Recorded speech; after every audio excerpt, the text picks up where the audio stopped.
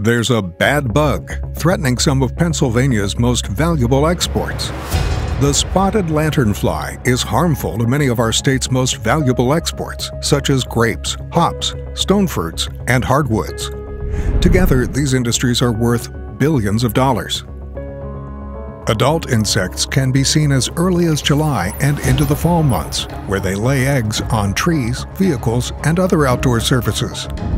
While it's found only in the southeastern part of the state now, the spotted lanternfly is an excellent traveler. And that's why we need everyone to be on the lookout for this bad bug. If you see it, report it.